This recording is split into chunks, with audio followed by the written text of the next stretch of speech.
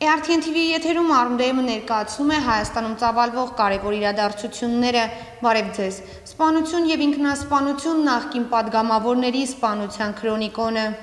Երևանում հոկտեմբերի 6-ին դաժան սպանություն է տեղի ունեցել։ Նորքմարաշի Արմենակյան փողոցում գտնվող հացատներից մեկում կրակոցներ են հնչել։ Սպանվել է ազգային ժողովի նախկին падգամավոր Կարո Կարապետյանը։ Հասարակությանը հայտնի Յուվեցի Կարո Մականվամ դեպքի վայրում հայտնաբերվել են պարկուճներ եւ ատրճանակ։ Ձեռնարկված օպերատիվ հետախուզական միջոցառումների եւ քնչական գործողությունների արդյունքում պարզվել է հանցագործությունը կատարելու մեջ կասկածվող անձի ինքնությունը։ Պարզվել է նաեւ, որ դեպքի վայրում հայտնաբերված Պիետրո Բերետա ատրճանակը պատկանում է Հարություն Ղարագյոզյանին, հայտնի Կարամելի Հարութ Մականունով։ Վերջինս նշված ատրճանակով ապարգևատրվել է Հայաստանի Հանրապետության վարչապետի որոշումով 2001 թվականի մարտի 22-ին։ Դեպքի հաջորդ օրը հոկտեմբերի 7-ին Զովունիում գտնվող շինություններից մեկում հայտնաբերվել է կարամելի հարութի դին գլխին հրազենային վնասվածքով։ Մահացածի աջ ձեռքում եղել է ատրճանակ նախնական տվյալներով Ղարագյոզյանը ինքնասպանություն է գործել։ 10 տարի առաջ Արմեն Ավետիսյանի տան վրա ավազակային հարցակման պատվիրատուն Ալերաղացի Լյովիկն է, նա հետախուզվում է։ Հայաստանի Հանրապետության ազգային անվտանգության ծառայությունը դեռևս 2009 թվականին հանրությանն իրազեկել էր, որ բացահայտվել են Կոշիկի քաղաք ՍՊ հիմնադիր Արա Կարապետյանի եւ Նոր Նորքի ոստիկանության բաժնի պետի նախկին տեղակալ Արմեն Նիկողոսյանի ստեղծած հանցավոր համագործակցության անդամների կողմից մի շարք աղմկահարույց առանձնապես ծանր հանցագործություններ կատարելու դեպքեր,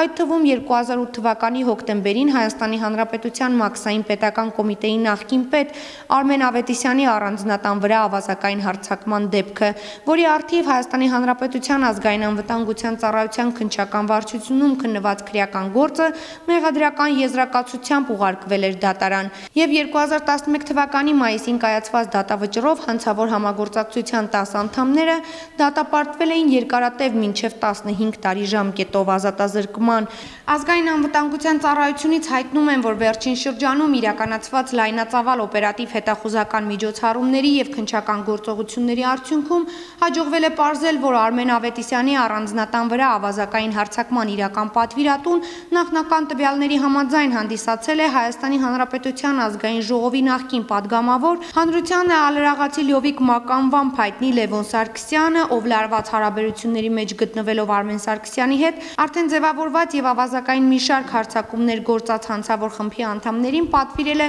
վերոնշյալ հանցագործության կատարումը։ Քրեական գործով բավարար ապացույցների համակցությամբ Լևոն Սարգսյանը ներգրավվել է որպես մեղադրյալ կազմակերպված խմբի կազմում առանձնապես խոշոր չափերով գույք հապշտակելու նպատակով ավազակային հարցակում կատարելու եւ հանցավոր համագործակցությանը մասնակցելու համար հաշվի առնելով որ վերջինս տևական ժամանակ բացակայում է Հայաստանի Հանրապետությունից եւ գտնվելու վայրերը հայտնի չէ նրա նկատմամբ հայտարարվել է հետախուզում որպես խափանման միջոց ընտրվել կալանավորումը մեղադրանքի առաջադրվել նաեւ Լևոն Սարգսյանի ազգ ազգական ՍՂ-ին վերջինս կալանավորվել է։ Այս մասին տեղեկանում ենք ազգային անվտանգության ծառայությունից։ ՀԿ-ականները աջակցում են վարչապետին կողմ արտահայտում դեկտեմբերին արտահերտ ընտրությունների անցկացմանը ազգային ժողովի ՀԿ խմբակցության որոշ падգամավորներ այսօր տարածել են հայտարարություն, որ հաշվի առնելով երկրում տիրող ճգնաժամային իրավիճակը հայտարարում են, որ կողմ են ազգային ժողովի լուծարմանը եւ արտահերտ ընտրությունների անցկացմանը դեկտեմբերին։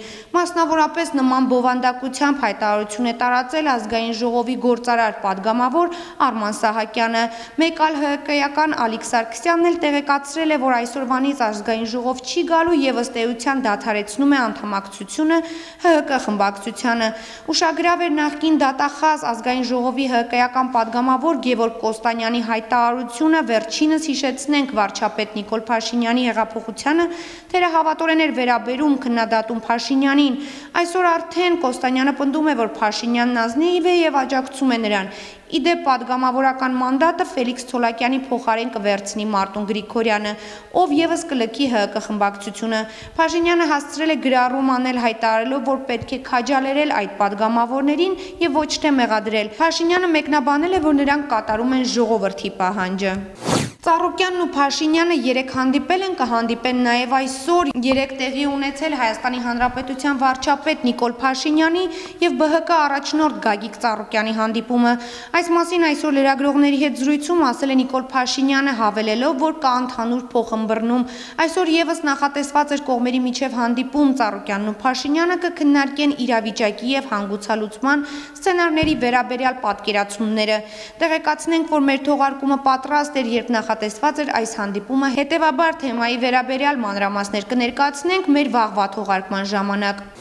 Հայաստանի քնչական ծառայությունը ձերբակալել է Սամվել Մայրապետյանին, թե ինչ գործի շրջանակներում է ձերբակալվել Սամվել Մայրապետյանը, հատուկ քնչական ծառայությունից չեն մեկնաբանում։ Կառույցից պնդում են, որ նախաքննական գաղտնիք է, նշենք, որ Մայրապետյանը հանդիսանում է H2-ի սեփականատերը, ինչպես նաև Toyota Երևանի նախագահն է։ Երևանի կենտրոնում զբաղված էր էլիտար շենքերի, այդ թվում Հյուսիսային պողոտայի մի հատվածի կառուցմամբ։ Աբովյան 8 հասցեում գտնվող շենքը եւս պատկանում է Մայրապետյանին։ Հիշեցնենք, որ Մայրապետյանը Սարգսյանը 2015 թվականին դիմել է դատարան Տերյան 23, 25 եւ Լալայանց 37 շենքերի բնակիչներին իրենց բնակարաններից հանելու համար։ Այսօրվա համար առանձնացրել էինք այսքանը, օրվա մյուս նորություններին կարող եք ծանոթանալ հետևելով մեր լրահոսին, իսկ ես ձեզ մաղթում եմ ամենայն բարիք, տաղավարում աշխատեց Տաթև Այվազյանը։